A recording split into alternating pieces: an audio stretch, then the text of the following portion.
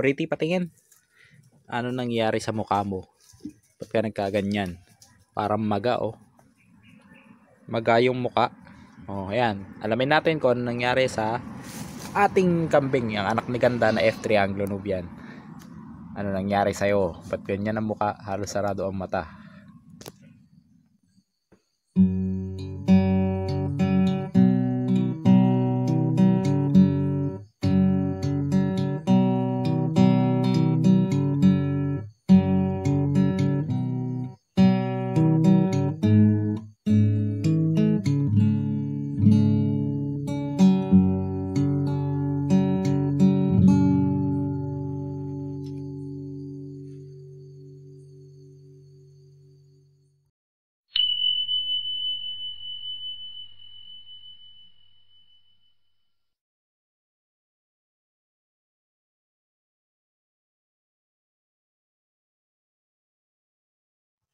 Meron ako mga nakarang experience sa kambing kung saan parang lumaki yung kanilang muka.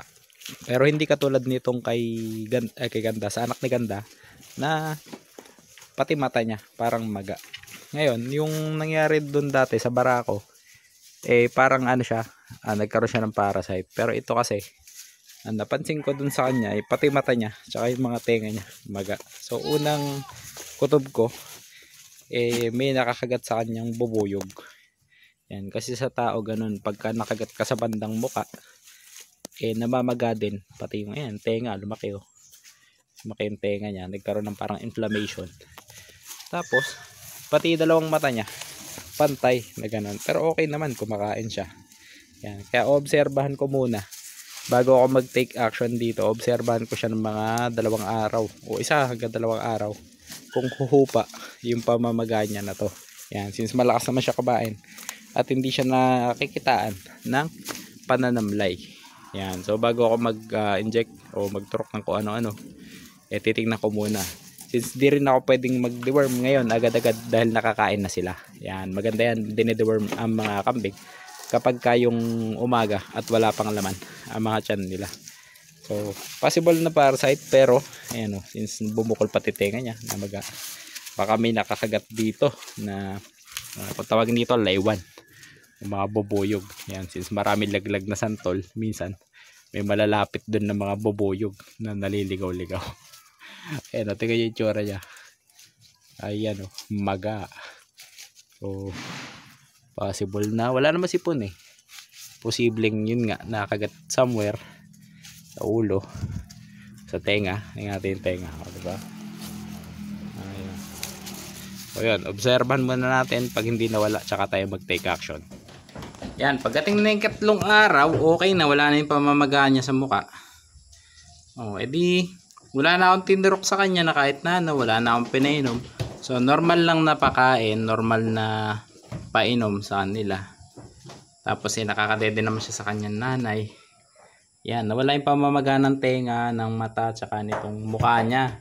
So, parang ano ko doon, pinaka-conclusion ko dyan, eh, may nakain or may nakatundo sa kanya. O, nakatundo, nakapangagat, na nakakapangati.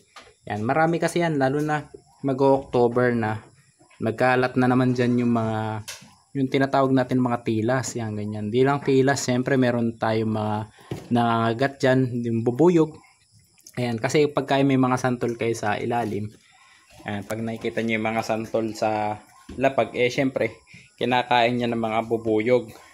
Tapos minsan, napapasama yung kambing natin doon, kinakain ng mga kambing natin yun. Ang nangyayari, eh nakakagat sila. Ayan, masakit din naman makagat ang bubuyog at namamaga. Ayan o, oh, ito pa mga kakambing. Makikita nyo yan, lalapitan natin. Tapos ipo-focus natin. Yan, ay ma-focus. Yan, yan yung mga tilas na maaari mag-cause ng pangangati o discomfort sa ating mga kambing lalo kumakain nila yan biglang iiyak yung mga yan tapos bubula yung bibig. Yan hindi naman namamatay pag dito pag na naiisukan nila yung nakain nila na may ganyan. Yan ito yung mga isa sa delikado sa farm lalo pag sumasapit ng September at October. Yan dumadami yung ganito Tapos bukod dyan, syempre, meron pa yung putakte kung tawagin. Ayan, yung mga putakte naman, usually may bahay sila sa mga lohoban. Na pag nabulabog, eh, kakagatin nila yung lalapit sa kanilang mga bahay. Meron din mga katulad nito, lipang aso. Pero hindi naman yan ginagalaw ng mga kambing ko. Pero try nyong hawakan yan, mga kakambing. At talagang napakakatirin yan. Tapos yung isa pang mas makati dyan, eh, try natin maghanap dito. Yung lipa. Meron ako na ilagay niyan sa iba ko pang mga videos kung saan nakaka-encounter tayo ng malalaking lipa dito sa uh, farm. Pero ang lipa kasi pag na, napadampi yan, ayan, may nakita na ako isa. Pag nadampi ka dyan, nadampi sa iyong uh, balat, eh, talaga naman napakakate. Ayan, ang maliit na lipa. So lumalaki yan ng mas mataas pa sa tao. At talaga namang napakakate kapag ka nahawakan mo yan. So siguro minsan pag na, napapadikit dyan yung mga kambing natin, nangangati rin sila. Pero sila naman ay eh, alam na nila kung ano, ano yung mga dahon na nakakapangati. Kaya hindi na nila to kinakain. So chinek ko rin yung pamatcha ng ating uh, kambing na si Pretty at okay naman pasado naman yung kanyang pamatcha at uh, hindi rin naman magulo yung kanyang balahibo. Ayan, tapos hindi rin naman siya nagtatae na yun ay mga isa sa mga uh, palatandaan na may bulate, 'di ba? Eh wala naman siya ng mga palatandaan na 'yon. Kaya hindi na muna ako magpupurga. So ang bala ko magpurga is sa uh, mga kalagitnaan or katapusan ng October para abot na yan hanggang November, December. So ganun. Uh, ang pagpupurga ko ngayon ay ginagawa kong every 3 months dahil maganda naman yung kanilang nakakainan dito. Natutuyo ko naman na maayos bago ko sila alpasan. So sa pagkakambing talaga napakalaking bagay na naobserbahan mo sila araw-araw. Yan, dyan pumapasok yung daily routine mo na iniikutan mo sila araw-araw pagkalabas at syempre bago ka matulog.